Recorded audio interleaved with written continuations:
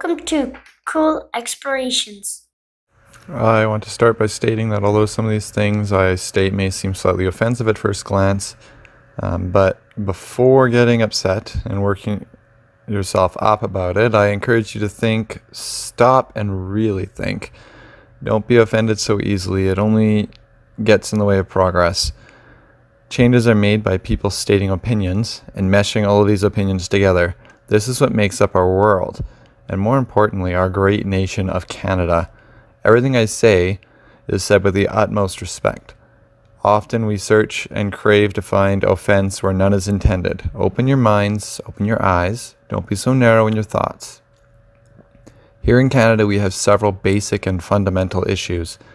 Like all other countries, our problems, sadly, start from the top and work their way down to the bottom.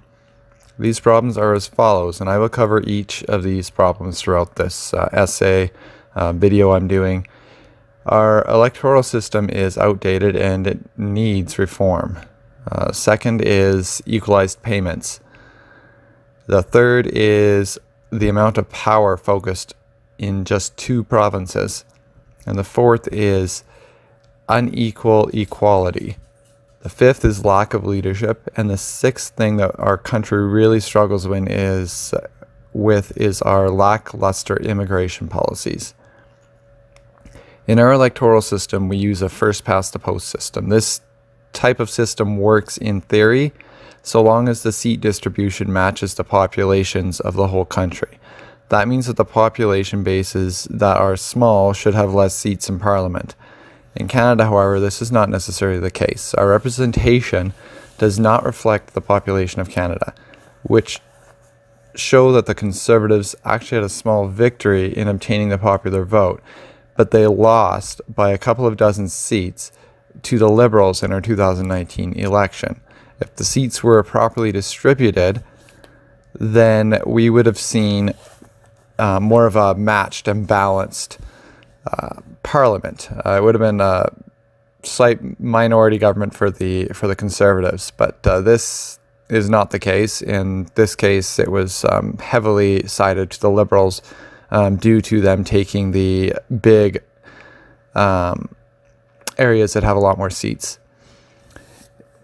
If we then take a closer look at this system, we will find that the maritime provinces, which have much smaller population bases than many other ridings in the West, um, yet PEI still has four seats representing them in the House of Commons for just over 142,000 voters, uh, where the Western ridings have one seat for much larger bases of population. Uh, realistically, uh, PEI should probably only have two seats. Um, this leads to inequalities in representation and unrest in areas like Western Canada who feel that their voices are not being heard.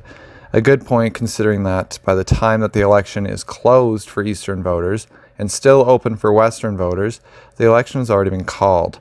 The West just determines whether it's minority or majority, but sometimes they don't even do that if Quebec uh, all votes for that same party. Um, all ridings that have less than 50,000 voters need to be combined with surrounding ridings, in my opinion, so that it better reflects the other ridings and the actual population. Uh, the exception for this would be the territories, of course, because they each do deserve to have one seat each. They have uh, around that 50,000 or less, a little bit over maybe, um, in each of these territories. Um, and this is exactly the kind of thing that has led to the disconnect that is felt between the eastern and western halves of this great nation we call Canada. You may be thinking, what then does equal representation look like? Uh, equal representation would involve taking a closer look at where the country has the greatest population bases and awarding the appropriate number of seats to these areas, then taking away seats from less populated areas. Combine these ridings uh, to match that of the more heavily populated areas. So give PEI, for example, one or two seats in Parliament instead of the four that they have. Making representation accurately reflect the voter base in these areas uh, will mean policies that actually reflect the views of Canadians as a whole, not just two provinces. It will also mean parties and leaders elected that actually reflect popular vote Equal representation would also reduce the occurrences of our Prime Minister, Trudeau, openly declaring war on the Western provinces. He has done this by his speech right before the election, saying he will fight the oil industry, pipelines, and anyone who fights for them. A prime minister should not ever say this about the economy that has supported and propped up this country financially and should be encouraging all parts of the country. The fact that he still won re election speaks volumes about the lack of equal, equal representation. In addition, the implementation of the carbon tax was a direct shot across the bows of the Western ship. This has only been implemented for a short period of time, and yet it is costing farmers, businesses, the oil industry, truckers, and each individual a ton of money that they cannot afford. Uh, the adding of a federal tax onto the carbon tax is also repulsive. Charging a service tax on a tax the majority of Canadians feel is a complete disservice. To top that off, as usual, Trudeau has completely ignored the complaints of the Western provinces and of many Canadians against the tax. He claims that it is helping Canadians through rebates they get, but it is actually causing more harm than good. These cheap parlor tricks of rebates is a smokescreen to lessen anger, but does not cover the fact that it does not replace the immediate cost of the tax and the devastation it is causing in our industries that are supposed to be supplying money for the country as a whole. Proper distribution of representation would mean the voice of the majority is heard and acted upon. To add insult to injury, the federal government has completely ignored the suicide rate rise in Alberta since the oil field uh, has basically completely collapsed. These details lay mainly at the hands of Trudeau and his American backers, as that is how he got elected was because of uh, his American backers. It's been proven in the um, Over the Barrel video. If you haven't watched it, I would watch that documentary. It's on YouTube.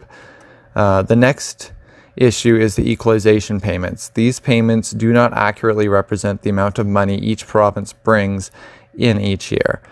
This was originally set up with the intent of providing money to keep the have not provinces afloat. Instead, it has been abused and ignored by numerous prime ministers of all parties. Payments like these need to be changed and adjusted each year based on profits, or done away with completely so this abuse is not done so easily. Either do away with it altogether so that each province supports themselves, or make them truly reflect the money each province has. It is not right or just to have two provinces like Alberta and Saskatchewan, uh, more so Alberta, hemorrhaging funds after provinces they support through equalization payments use that money to destroy these provinces. Quebec is certainly not a have not province and should be paying equalization payments, not taking the largest slice of them. Over 13 billion a year they are now scheduled to get. Alberta and Saskatchewan have been in deficits since the Liberal Party bought and then failed to proceed with the pipeline developing. That would keep that would keep the economies strong. Just because a very slim margin of people in a microscopic portion of the country want it stopped. Which brings me to our next point um, that needs addressing right away the amount of power that two provinces out of 13 provinces and territories have over the rest of the country. I touched on this briefly before, but we'll look at it a bit more closely now. Ontario and Quebec determine who is in power and influence and decide all of our policies as a result. In our 2019 election, the Bloc Party was elected heavily in Quebec. This means that they will be able to further push through policies with the Liberals, who are packed with Francophones, sympathetic to Quebec, that are in Quebec's favor. Their leader, in the, his speech after the election, stated that he will only work with the government on a case by case basis and only if he feels it benefits Quebec. So he doesn't really care about the country as a whole. This self focus is detrimental to our country's unity. The greed from Quebec has drained the funds from our nation's accounts for far too long. Why does one province dictate the terms and make demands that the rest of the country has to kowtow to? Ontario and Quebec need to start thinking about Canada as a whole and not focus on just themselves. We are a country, not a collection of people bred to serve and feed two provinces. We're not slaves. All Canada deserves a say and should be able to influence policy, deciding how our country is run and how funds are spent. All Canadians have this right. One province, Quebec, should not be given special rights and regulations separate from the rest of the country. They are not above the rest of us. We are all equal and a part of Canada, not meant to be walked all over. Every province, territory, and member of our great country deserves the same rights, laws, and freedoms. If Quebec does not like living by the same rules and regulations as the rest of us, then let them leave. They're welcome to it. They voted in their, their bloc party. Bloc party usually supports that. So they're perfectly free to do just that. We live in a wonderfully free country and are not here to serve the interests of only Ontario and Quebec. Which leads me to my next point. And before I continue, let me reiterate not to get offended or fly off the handle at me. Read it, think on it. I'm not trying to offend nor insult any groups, races, religions, or genders, only to summarize the feelings and sentiments I've heard, researched, and am now reflecting on. I'm trying to come at it from a balanced perspective. I'm sorry if it doesn't come across that way. In Canada, we have many groups asking for and demanding equality. Equality is the best thing for the world and our country. That being said, we do have groups that are demanding equality, and this is the part that many people will get defensive at. They think that the truth behind the statements, but think of the tr- truth behind the statements before getting upset. They already have many more rights than the rest of the country. Equality means that every person is equal and is entitled to the same rights, freedoms, and opportunities and follow the same laws. This, however, is not always the case. First and foremost, we have Quebec, as mentioned before, who have far more rights, privileges, and their own set of laws that they abide by. Some things that no other province has the ability to do. Um, yes, we can make our own laws, um, just not to the extent that we see um, Quebec being able to. They force people to speak French mainly, and a French signage where it has to be the most prominent on there is your French. And they're not able to set up businesses if they're not going to um, be mostly and predominantly French, uh, which we could never do as English speakers there would be a huge uproar from the Francophone community in Canada um, if we were to try and do this, as there should be. Um, and I think that us English need to be standing up for ourselves a little bit more in terms of this because it really is not right. Um, this is a free country. English and French are both our official languages, and as such, they're entitled to the same rights. People of any language have the right to have signage in their in their language, and uh, to make that signage predominant and to speak whatever language they choose at the business, whether English or French, because both are official languages. That being said, you do still have to be respectful of the main language in the area and try to communicate as best you can with the area's language. Quebec should also not have separate tax laws and get special treatment and funding for their colleges and universities. Just read today an article in which uh, Liberal MP Steven Guilbeault has inaccurately stated that Twitter, uh, through Twitter, that 70% of Canadians voted for carbon tax in the past election, and then goes on to rub the Western provinces' faces in it, um, in the fact that fighting the tax was lost in court twice. Accuracy is key when making statements, especially as a politician. Um, Twitter is kind of a death hole. I'm not sure why politicians use that as much as they do. Um, if he actually looked at the votes, he would see that in actuality, more Canadians voted for parties that oppose the carbon tax. But that isn't really um, what the election was about. It was about, and as a politician, he should realize that elections are about more than one point in a platform. It was about a platform as a whole.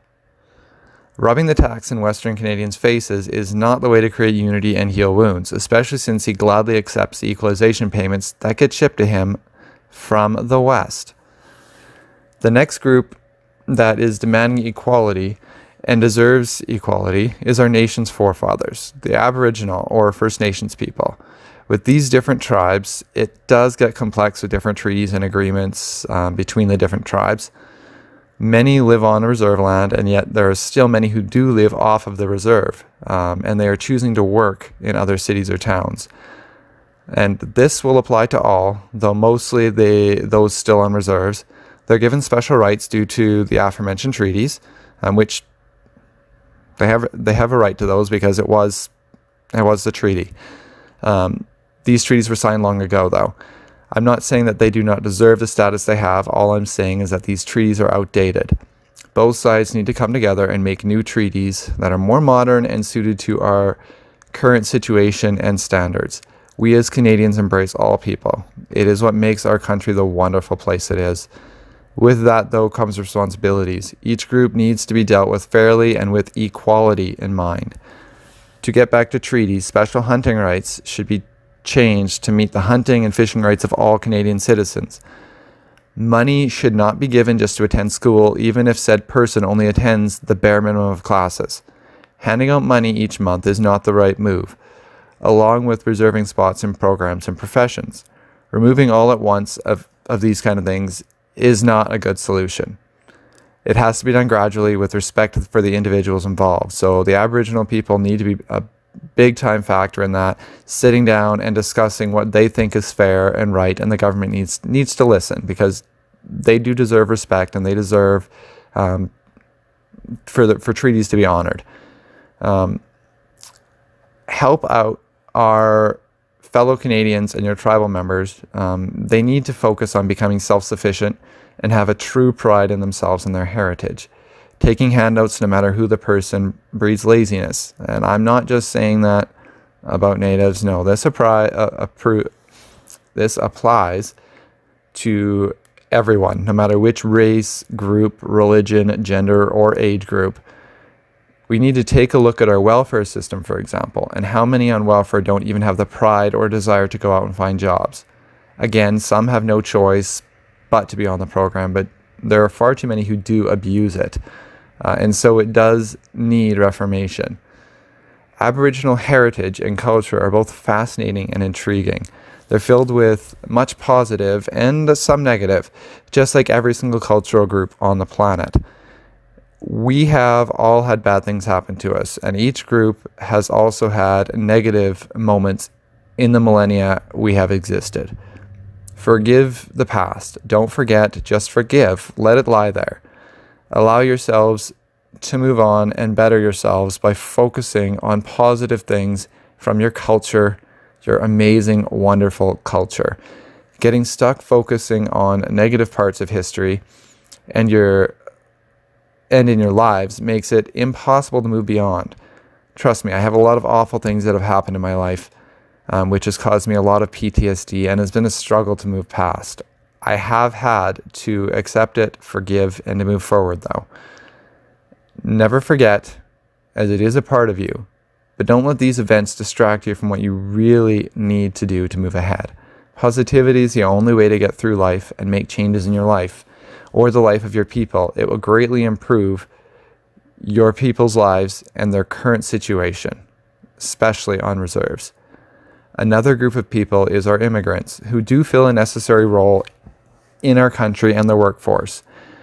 But when you do come to Canada, take on the customs and traditions. Work to fit into our society as a whole. Too many people uh, are coming here, and no, I'm not saying all, because I know very, a lot of East Indians and Filipinos who uh, are wonderful, amazing people who are trying to fit into our society. Um,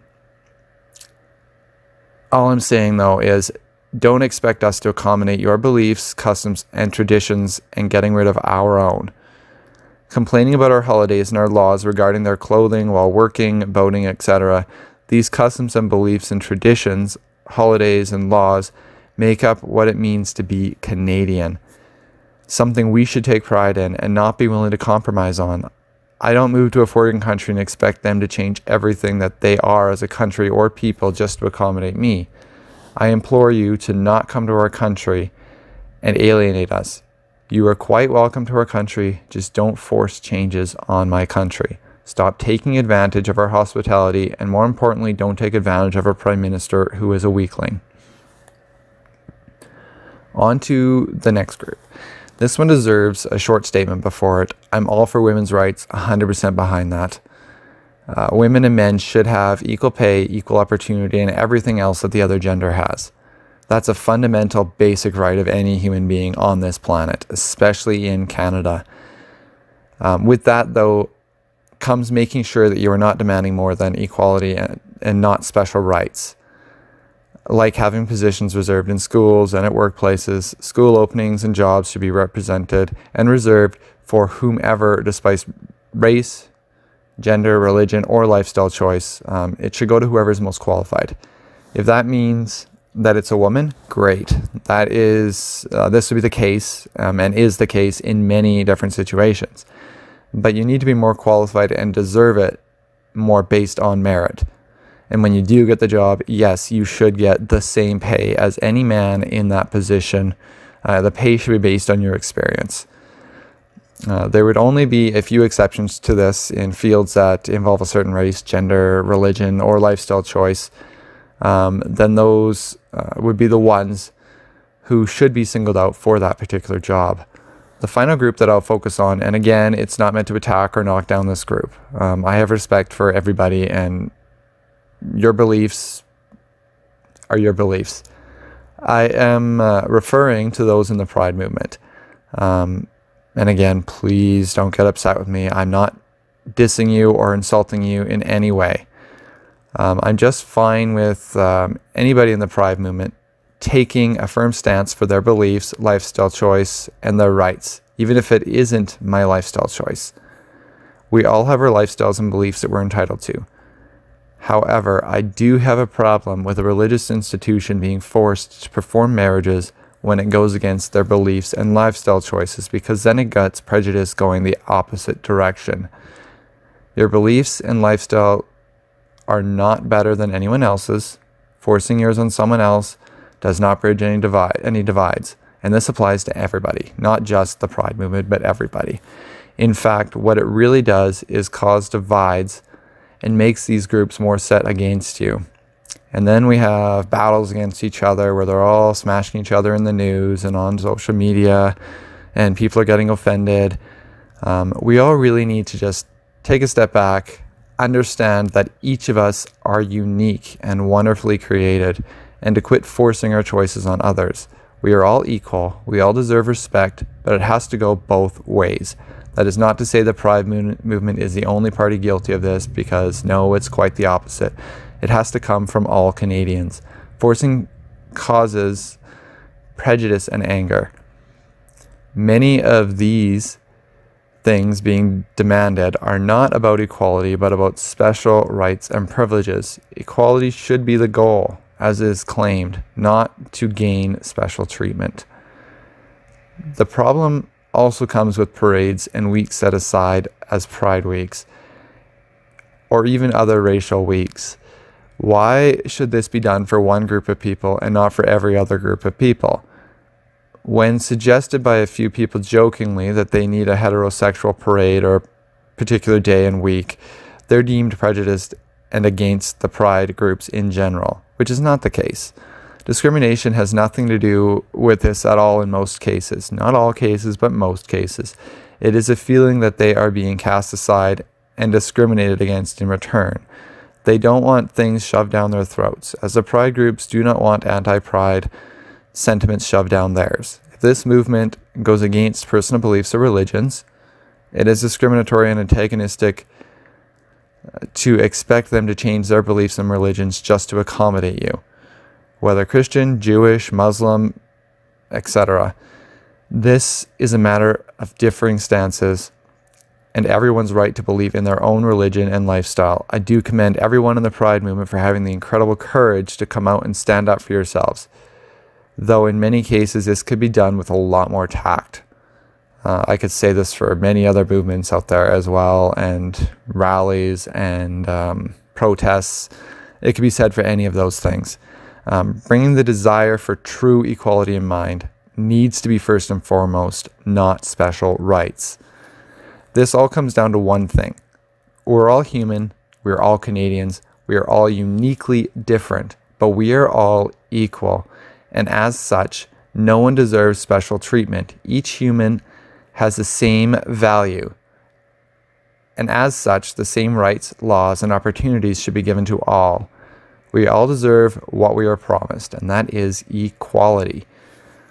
On to the next point. I spent much more time on equality than was intended, and it is just so important that we are all equal and are treated as such. Uh, lack of leadership is a huge issue in Canada right now. Our leader does not speak with confidence. He bumbles through his sentences, dodging questions completely, never bothering to answer Canadians as a whole. He does not lead with confidence either, just a cocky arrogance he inherited from his father. His integrity and ethics are yet to be located. He has been caught insider trading, defrauding Canadians out of tax dollars to boost his personal residences, accepting bribes in the form of vacations and trips, forcing caucus members and the Attorney General to do his bidding. Uh, he is accused of groping a woman. He's accused of pedophilia, um, and with that, he it's it's an accusation that he um, slept with a 16-year-old and then was uh, paying her to hide this. Again, that is just an accus- accusation. Um, and he's had a blatant disregard for the wishes of his people, which are all Canadians, not the East, not Quebec, not Ontario, but all Canadians. He continues to ignore most of Canada and never fulfills promises. Then he jokes about it later, and it, and he can't balance a budget. Uh, never mind meddling in the ethics committees that have been uh, in, put in place to investigate him. He's abused his power with no accountability. He claims to be a feminist, but women who leave his party claim the exact opposite. He embarrasses Canada abroad in every country he goes to, bringing shame upon our proud country, making us the laughingstock of the world. Then we get to all the foreign deals he's failed us on money that he has cost our country by spending without restraint, giving Canada its largest deficit in years, easily corrected by fixing our farming and oil industries. Finally, his mismanagement of our resources has been detrimental. His actions have driven a further wedge into the divide and disconnect uh, that our country already feels. He will be the cause of our nation's folly its ultimate destruction, which is what the American organizations backing and securely or secretly funding Trudeau really desire a humbled Canada, allowing them to shut down all of our resources to bolster their own agendas and put more money in their own pockets.